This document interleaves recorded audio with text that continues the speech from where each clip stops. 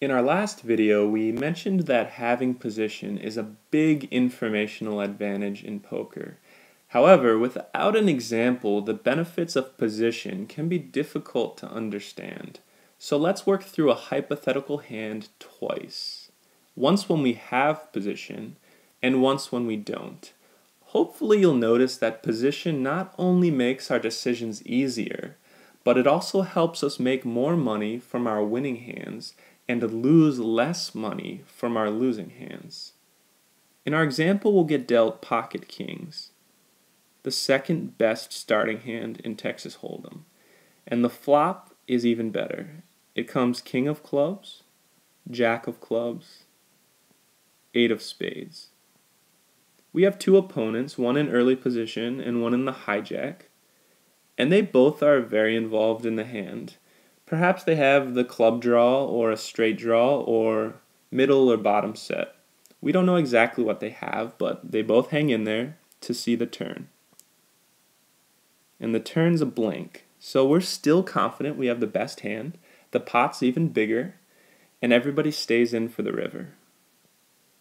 Sadly, however, the river is probably the worst card in the deck, the 10 of clubs. It completes both the club draw and the straight draws that were on the board. So now we're a little worried. What do our opponents do? Our first villain leads with a bet, the size of the pot. And this alone is pretty bad news. Unless he's a bad player, he's probably only doing this with a straight or a flush possibly with a set of jacks, a set of aces, or pocket aces. Sorry, a set of eights or pocket aces. What happens next, though, makes our decision very easy. The second opponent raises all in. So now we're certain that one of our two villains has a better hand than us. And what otherwise, in a different situation, would be a very strong hand, we happily fold. Because of our position, our decision was easy, and we preserved our entire stack. What happens though if we have the same hand and we're out of position? Let's say every player rotates one seat around the table. So we're now in early position, and our two villains are in the hijack seat and seated on the button. The board gets dealt the same, and we have the same pocket kings. Our decision here is much more difficult.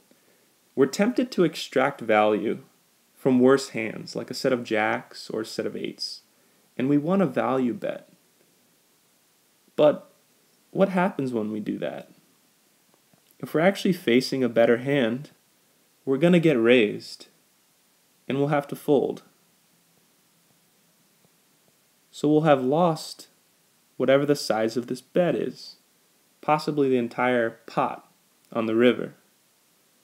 So, maybe we elect a more conservative approach. We say, let's check and see what our opponents do.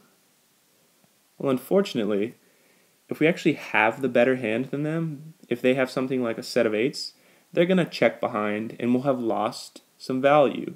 We'll have missed the opportunity to get an extra bet out of them. If they have a better hand, they're going to bet. And we might be tempted to call. And you say, well, it's better to check call because it still costs us one bet, but at least we get to see the showdown. Unfortunately, when when we check and they bet, they almost always have us beat. So again, we're losing an additional river bet. Well, let's go ultra conservative. Let's check, hoping they check behind, and if we have any resistance, we'll simply fold. Unfortunately, this will just leave us with a big question mark, wondering if we just made a mistake by folding the best hand. So without position, we're either left guessing as to whether we made the right move, or we lose an additional big river bet to a better hand.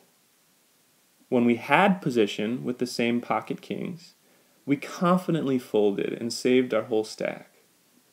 This hand demonstrated that position helps minimize our losses when we have a losing hand.